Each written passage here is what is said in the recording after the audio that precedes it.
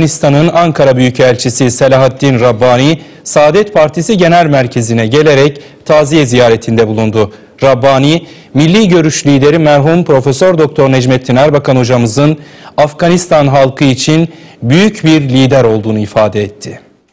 Allahu Ekber, Allahu Ekber. Milyonlar uğurladı milli görüş lideri merhum Profesör Doktor Necmettin Erbakan'ı. Allahu Ekber, Allahu Ekber. Kabri her gün yüzlerce kişinin akınına uğramaya devam ediyor.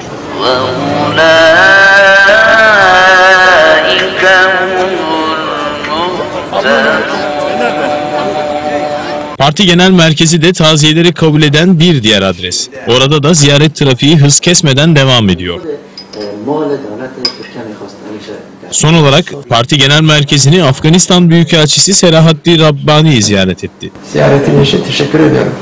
Saadet Partisi Genel Başkanı Profesör Doktor Mustafa Kamalak'a taziyelerini ileten Rabbani, muhterem Erbakan hocamı Afganistan halkı çok seviyor ve kendisine çok saygı duyuyordu. Hayattayken Afganistan'a fikri olarak büyük yardımları oldu. Biz genç nesiller olarak Erbakan hocamın yolunu devam ettireceğiz dedi.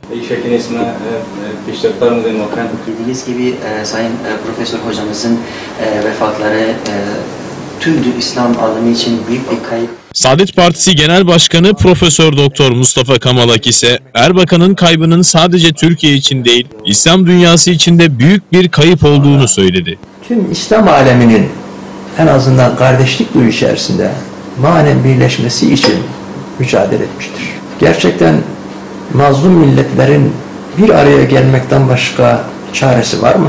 Hocamız bunun içinde ilk etapta destekizler öngörmüş ama bununla sınırlandırmamıştır. Son tahlilde ezilen milletlerin bir araya gelmelerini hedeflemiştir. Şu an dünya haritasına baktığımızda özellikle mazlum ülkelerin hiçbirisi kendi sınırlarını çizmiş değildir. Çok daha önemlisi bu mazlum ülkelerin birçoğunda yöneticilerin de bu, bu ülkelerin halkı seçmiş değildir.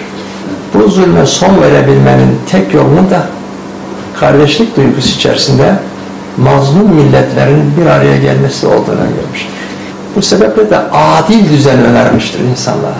İnşallah onun emaneti, onun öğrencileri olan bizler tarafından sürdürülecek ve gerçekleştirilecektir Allah'ın yardımıyla.